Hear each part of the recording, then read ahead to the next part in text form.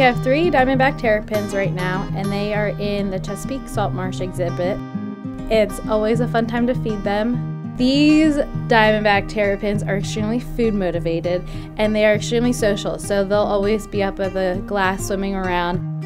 Usually, if they just see me coming, they'll swim right up towards me and splash the heck out of me and open their jaws wide open, ready for feeding.